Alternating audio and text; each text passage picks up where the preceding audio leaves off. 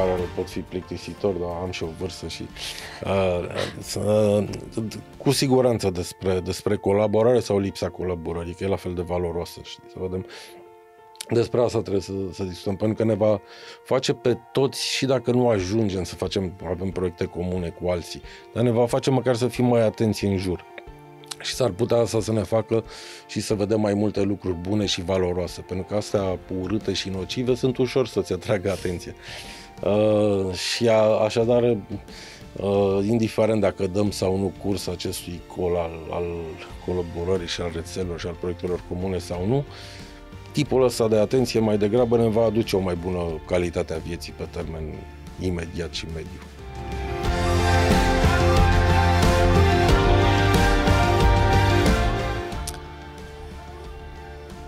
despre, despre artă. Despre artă. Cred că ar trebui să vorbim mult mai mult despre artă. Cred că vorbim foarte mult despre foarte multe alte lucruri și cred că vorbim prea puțin despre artă.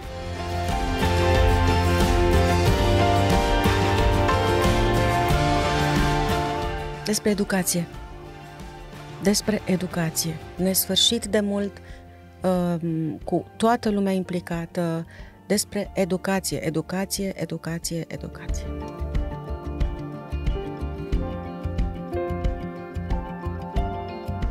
Apreciez mult ce se întâmplă acum în spațiu public. Uh, oamenii vorbesc mai deschis despre ce nu e bine cu ei. Asta aș spune pe primul loc, că despre um, ce facem bine, încercăm să vorbim toți mult uh, și e bine și asta, e bine să ne inspirăm unii de la alții, uh, să ne cumpărăm cercei frumoși, da, face bine, uh, dar cred că este nevoie să recunoaștem și ce nu ne iese. Eu fac asta de mulți ani și încurajez pe toată lumea să încerce exercițiul ăsta. Da, te vulnerabilizează într-adevăr, dar ce rezultă este că oamenii nu te mai consideră da, vreun perfect, deci o să te urască mai puțin. o să zică, ok, uite și ție ți se întâmplă toate mizerile. Da. Um, avem nevoie să ne vedem așa, fix cum suntem. Uite, cu un rid, uh, cu o lacrimă, cu machiajul un pic uh, mutat de la locul lui, cu o pată pe bluză. Uh, cred că viața e așa, nu? Da, avem nevoie să vorbim despre lucrurile astea și vă asigur că știu de ce vă e frică și mie mi-e frică și de ridicol și de judecată, um, de rușine. E greu să faci asta, dar nu e atât de greu pe cât pare și ce vine bine um, merită.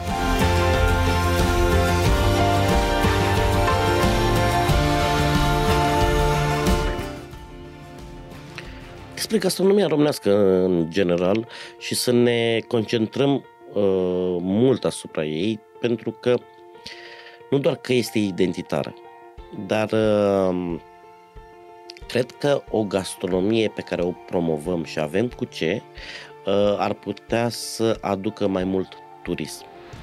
Uh, mai mulți turiști înseamnă mai multe venituri înseamnă că uh, învățăm să ne forțăm să facem autostrăzi, uh, să avem condiții de, uh, de ospitalitate mai bune uh, și tot așa. Înseamnă că dezvoltăm tot felul de zone, că întoarcem bani către comunitățile locale.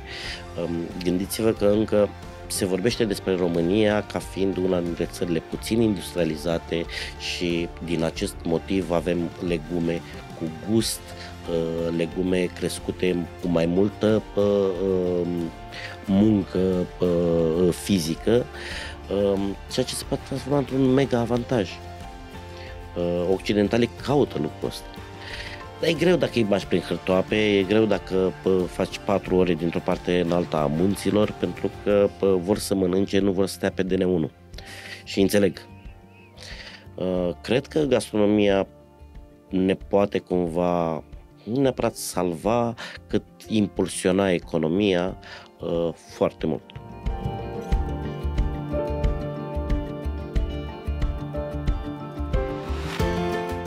Of, of, of. E de final, de asta e atât de... Da, ai pus o întrebare exact cui trebuia, pentru că eu vorbesc, dar eu vorbesc singur. cu voce tare. Mi s-a spus că m, nu ești privit cu ochi buni dacă mergi pe stradă și vorbești singur. Eu fac lucrul ăsta. Mi s-a recomandat să-mi pun ceva în ureche ca să dau impresia că vorbesc cu cineva, nu simt nevoia. Uh, despre ce? Despre spaime. Eu cred că ar trebui să vorbim mai des despre spaimele noastre, care nu sunt neapărat complexe, nu sunt neapărat ifose, sunt pur și simplu spaime. Um, la polul opus ar trebui să salutăm mereu și cu formule înnoite imprevizibilul vieții. Mie asta mi se pare marea descoperire a ultimilor ani pentru mine că viața te duce unde nu gândești. Sigur că e o banalitate, e un truism, uh, dar în momentul în care simți lucrul ăsta pe pielea ta, truismul capătă niște valențe bune. Capătă formă, da. Da, da. și uh, eu mă gândesc că merg într-un loc și dintr-o dată ajung în altă parte. Și îmi dau seama că sunt o scamă și că s-a pornit un zefir, o adiere, nu mai mult, ca o întâmplare vorba poetului. E, și am ajuns în cu totul alt loc și locul ăla poate să fie mirific sau poate să fie devastator sau poate să fie pustiu.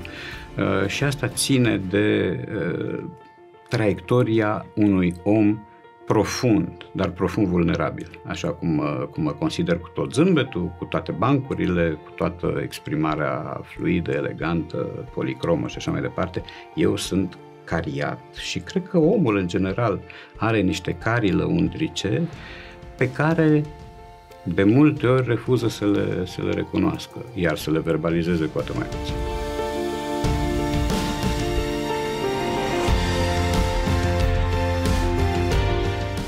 Despre a fi noi înșine, despre a, a ne crea rutine bune și simple în viața de zi cu zi, despre a fi conștienți că în noi stă puterea de a schimba lucruri și de a acționa, așa, puțin în fiecare zi, despre mici obiceiuri, despre, um, despre valori și despre a acționa spiritul lor, și despre a fi ceea ce spunem că suntem.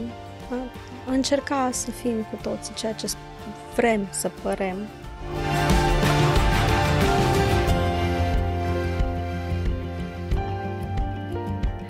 Păi, eu, mai, mai mult așa, pe problemele sociale, probabil, din păcate, care, da, sunt um, sunt primele care trebuie rezolvate și în cadrul marilor filme. Um, sunt mai aplaudate cele care se implică în proiecte sociale CSR decât cele care se implică în proiecte educaționale. Proiectele educaționale necesită mult timp. Da? E mai ușor să construiești o casă pentru cineva care nu are o casă decât să faci o școală să funcționeze sau mult să... timp, resursa umană, nu exact. upgradarea informației exact. continuă. Sau să contribui da. la educația unui copil. Educația unui copil este ceva care îmi presupune ani întregi de muncă, de resurse, de materiale, de nu știu ce.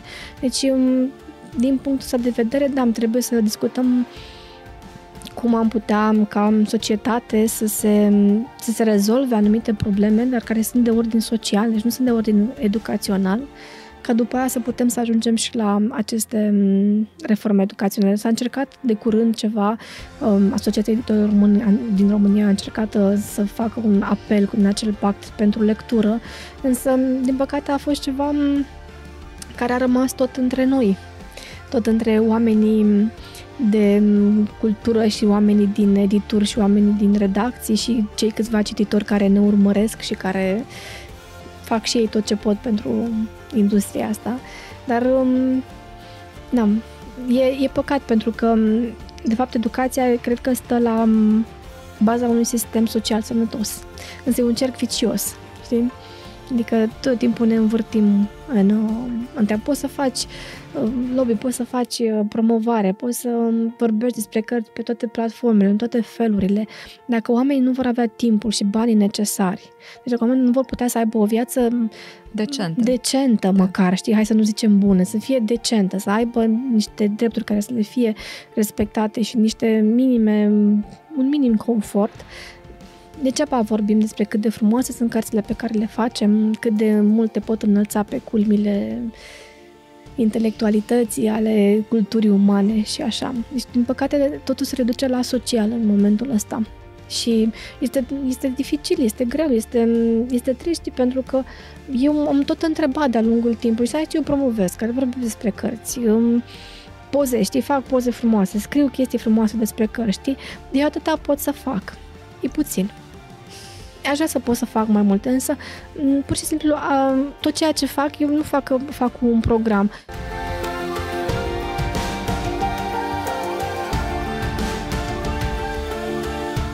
La radio sau așa? E o întrebare deschisă. Asta mi se pare interesant, ce face fiecare cu ea până la urmă. Uh, în măsura în care avem o portavoce precum este radio, cred că ar trebui să vorbim cât mai mult despre experiențele noastre personale, să împărtășim din ele, Um, cred că ar trebui să fim mult mai atenți și să vorbim mai mult despre lucruri de cultură. Mie așa îmi place să cred că undeva acolo bătălia asta nu este pierdută. Chiar dacă ea este, din punctul ăsta de vedere, eu sunt un un pesimist, dar un, un pesimist care luptă până în ultima, până în ultim moment împotriva curentului, nu știu, dar el știe că va pierde. E un optimist mixat acolo, ah. pesimismul tău. Așa. Așa. Despre asta ar trebui să vorbim și uh, ar trebui să vorbim despre frumos, uh, să nu ocolim nici subiectele incomode doar, uh, doar pentru faptul că uh, nu deranjează sau uh, E greu de digerat la ora asta dimineața. E greu de digerat sau... Da, nu vorbesc numai de dimineața, da? Deci oamenii trebuie puși și în situații mai puțin comode. Oamenii trebuie uh, puși în situația de a avea întrebări după ce te ascultă pe tine Uh, la radio sau într-un discurs sau după ce îți citește un, uh, un post pe o rețea de, de socializare. Uh, nu sunt pentru a oferi răspunsuri, ci pentru a căuta alte întrebări, pentru că ăsta este motorul care ne face să mergem tot timpul către o direcție. Avea tot timpul întrebări. Dacă avem răspunsuri, ne oprim. Și sunt uh, persoane care dau, adică au impresia că dau doar răspunsuri. Nu, trebuie tot timpul să, să deschidem întrebări. Ăsta este rostul documentarelor pe care le fac. Nu da căuta niște, niște răspunsuri la niște întrebări, ci de a deschide mereu și mereu altele. Ok, am încercat să răspund la el, dar iată ce idei mi-au venit de aici. Mi-au mai venit trei întrebări cred că asta ne ține tot timpul în priză, asta uh, ne face bine, ne face bine.